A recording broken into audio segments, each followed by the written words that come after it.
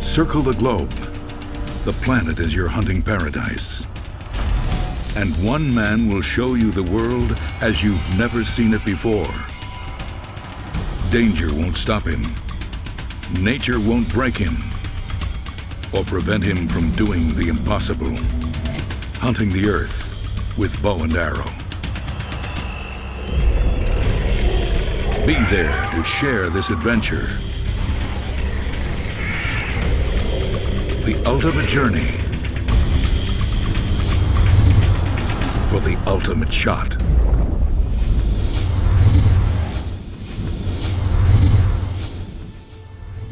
In this episode of The Ultimate Shot, we are off stalking deer. The red deer is widely distributed in the northern hemisphere on three continents Europe, Asia, and America. To stalk and hunt it is extremely difficult, and it is one of the most exciting deer hunts. Red deer are gregarious animals. In the summer, their herds are smaller, and in the winter, they gather in groups of 20 to 30 animals. During the mating season, the herd disintegrates and is formed again when it ends. The mating season for the red deer in Eastern Europe starts at the end of August and lasts until the beginning of October. And in this episode of The Ultimate Shot, we will hunt these beautiful animals on the Balkan Peninsula in the woods, once inhabited by the first European settlers, the Thracians.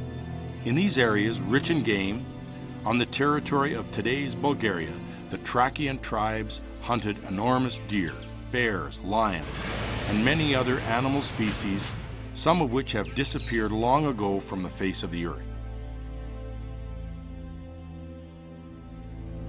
The preserved forests in the Balkan Mountains around the town of Elena, untouched by human hands, have sheltered lots of animal species.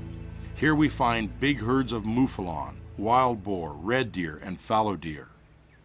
The natural biotope has also helped the population of many beasts of prey, such as wildcats, jackals, wolves, and many bears. People guard and preserve this natural phenomenon, especially from the poachers and illegal hunting activities.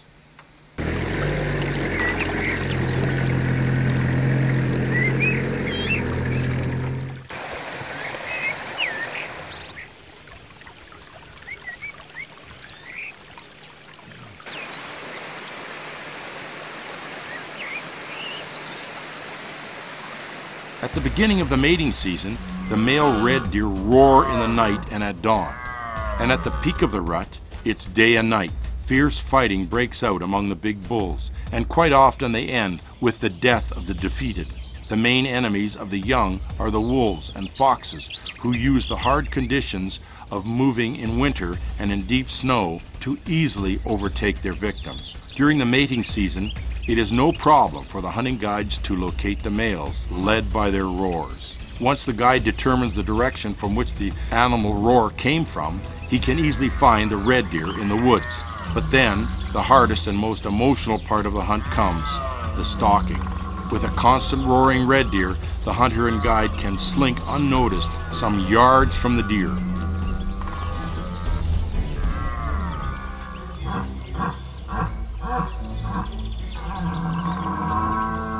Not always is the animal you are stalking the trophy you came for, but this is one of the good sides of hunting. Nothing is for certain. The hunting often starts from the highest point in the mountain, where the mating calls of the red deer are easily heard.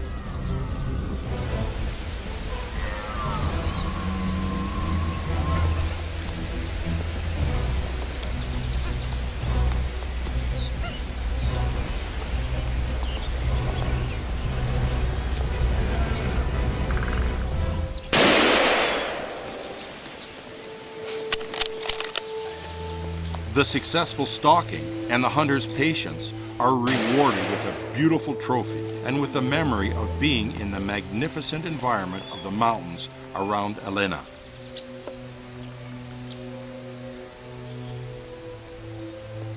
Attracted by the beauty of nature and the good hunting traditions, hunters all over the world gather here, and every one of them finds what they came for.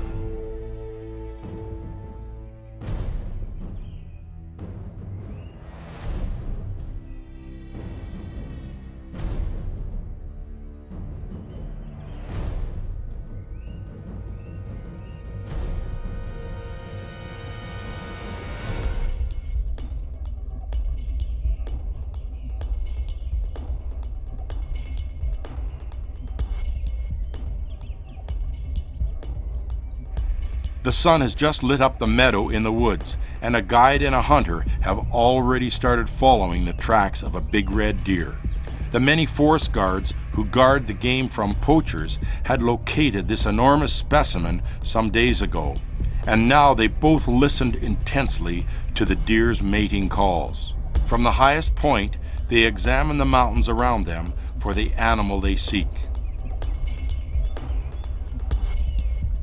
Due to chance and circumstance, this year the fallow deer's mating season coincides with that of the red deer, and the general love calls of both species echoed all over the surrounding area.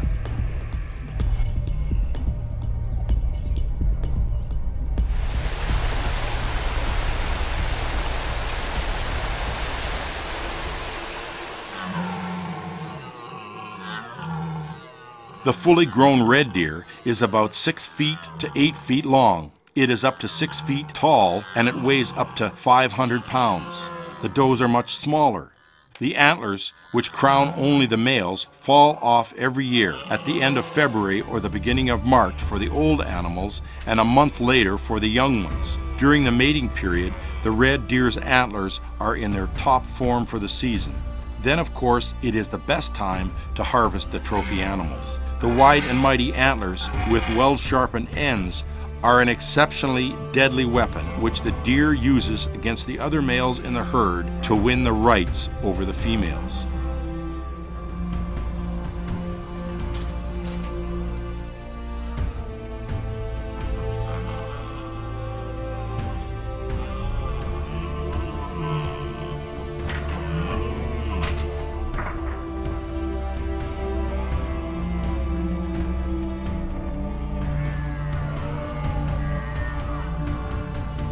Scared by the frenzied deer, the mouflon quite often move to the fern fields, which are safer and not so noisy. Sometimes the old red deer males, defeated in fights by younger and more tenacious animals, will follow the mouflon tracks and withdraw from the battlefield to have a rest. The visible scars on the deer's body and its tired step showed clearly that this male was retreating from a fight. The animal's symmetrical crown and its advanced age hinted that this would be an exceptional trophy.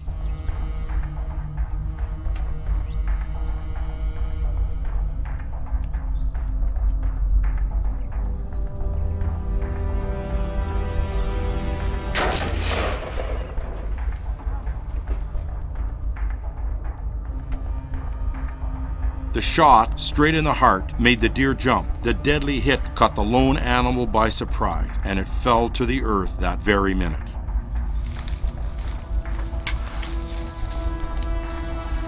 Scared by the shot, the mouflon ran for the cover of the forest. The hunter, extremely happy with his trophy, heads back to the lodge.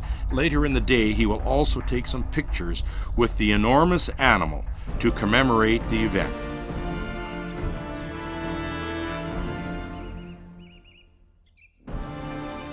All over the mountain, the animals have grown used to the noise of the engine of the guide's Toyota. This allows us to take some pictures of fallow deer, which are usually so timid.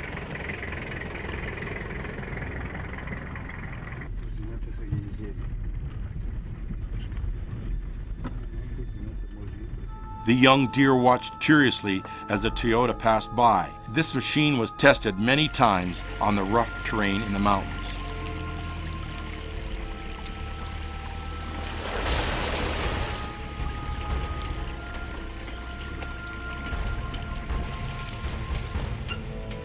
After a three hour passage over the mountain roads, the car stopped at the final point that we could reach.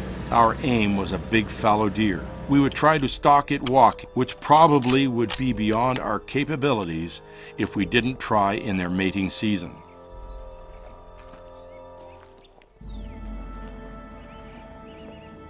We had gone so deep into the mountains that some of the young deer that had not seen a human before watched curiously the two legged specimens, massed as branches, walking among the woods.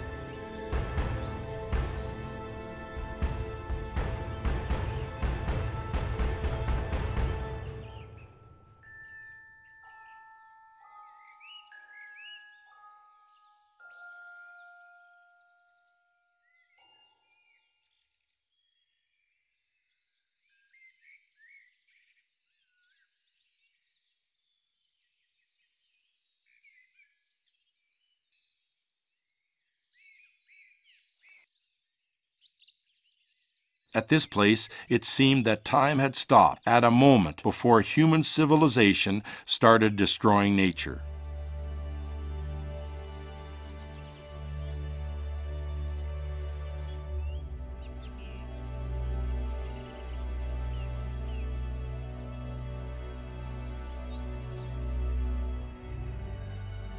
After a two hour march, we entered a very thin beechwood forest. We heard the coarse roar of the fallow deer everywhere. In the ravine nearby, we even witnessed two fallow deer stalking each other.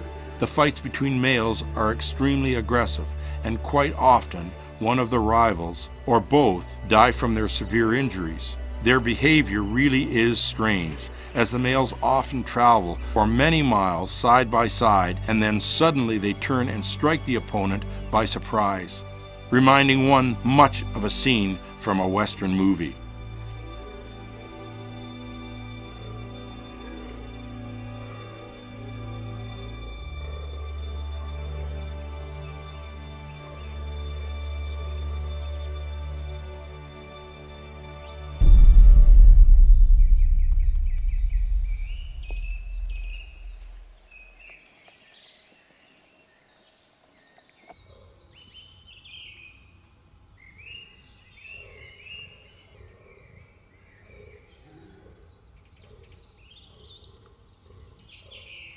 Our hunting guide Stefan examined carefully the hills nearby, looking for the fallow deer males, frenzied by their love games.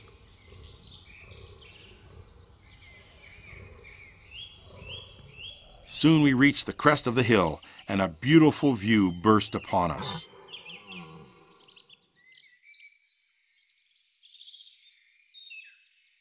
A young deer with an elegant step hid behind the hill nearby, drawing our attention.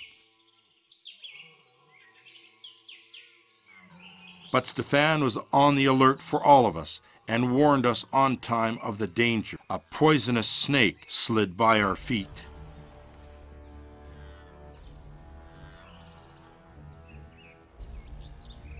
Just when we were passing through a big fern covered field on our way back, the hunter noticed a beautiful mouflon coming straight at us. Obviously, he wouldn't find a worthy fallow deer trophy today. Why not come back with a nice mouflon trophy instead? And right at the moment when he was preparing to shoot the mouflon, a big fallow deer appeared in the clearing. This was lucky indeed, so he didn't hesitate for a second.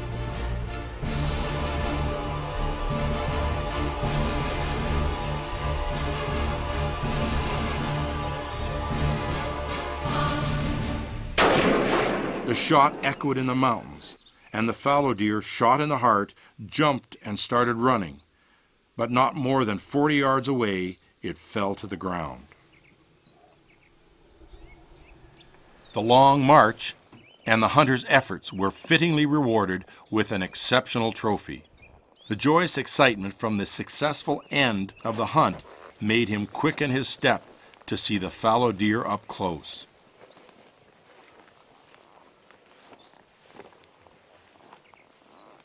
The animal had fallen on its side in the low dried grass. The trophy was imposing indeed. The male's weapon, which he used in hundreds of battles in his long life, now would take a place of honor among the marksman's trophies. Keeping the hunter's tradition, the guide dipped a green twig in the animal's blood and gave it to the hunter.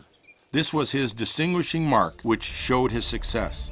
The guide put another twig in the dead deer's mouth, paying respect to the spirit of the fallen animal.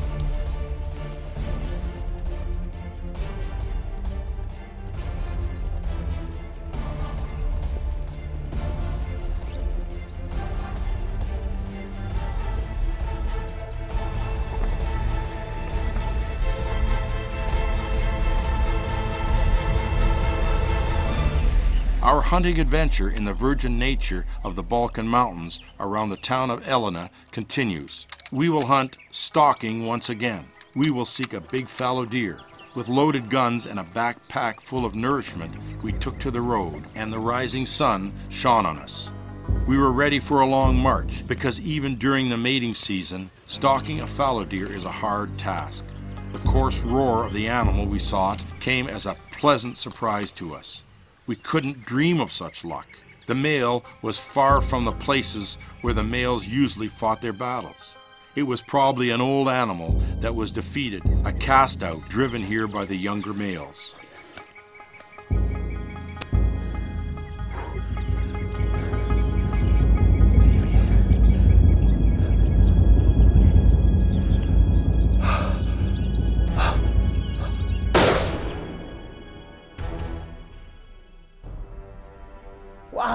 The animal was old indeed, and its trophy was very beautiful. Ah, The straight shot left no doubts.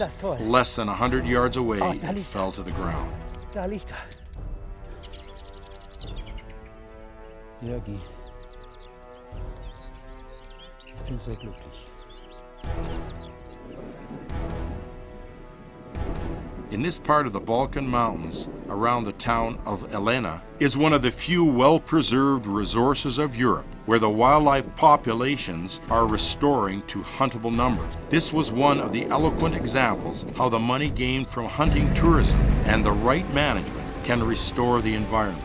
In this area, far from civilization and guarded from the poachers' raids, the increase of fallow deer, red deer, wild boars, and even bears has doubled in the last 10 years. The care taken of these animals and their year round feeding programs produces great results, and the opportunities for hunters to harvest record class trophies are steadily increasing.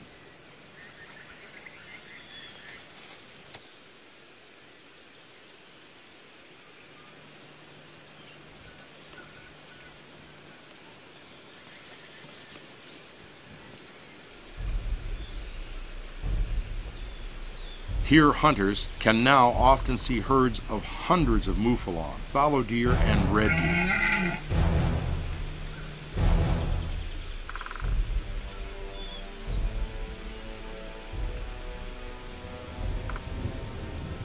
At the end of September, when nature transforms from summer to fall and the stormy clouds hide the warm sun's rays, the deer leave the windswept woods. Hidden in the ghost blanket of the fog that covers the mountain, the red deer are not scared to venture out in the open and roar. The hunter holds his breath. He is thrilled to hear the mating call. An experienced good guide can recognize by the deep guttural roar whether the animal is young and insecure or a big imperious deer.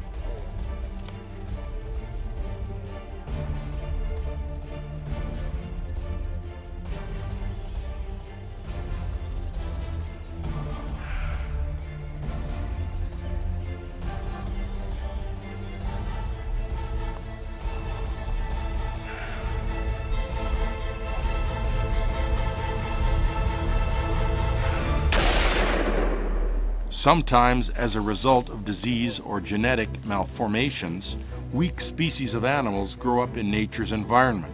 In normal conditions, such animals would fall prey to the carnivorous animals. But due to the lessening number of wolves and jackals, humans have to perform this purging function of wildlife management. This deer was a threat for the power of the next generation.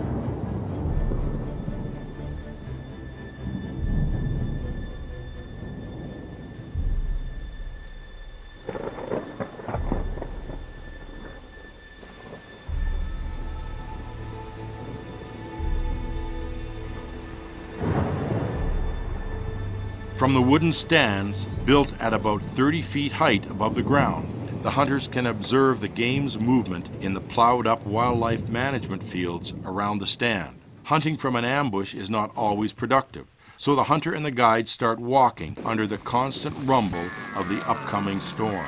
Soon, a deep guttural roar leads them to the big male. Approaching the roaring deer is easy because while he roars, he does not hear anything from the world around him. Seeing the animal The hunter does not hesitate because any delay at all may result in an unsuccessful hunt.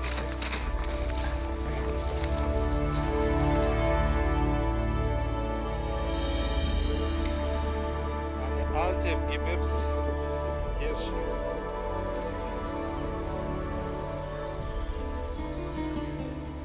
The mountain deer's crown is impressive. The symmetrical antlers and their thickness are a clear evidence of a gold medal. This is a worthy trophy for the hunter and for the ultimate shot.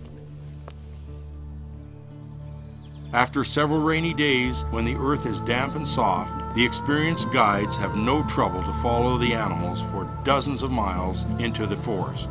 Following game is one of the oldest and most exciting hunting traditions.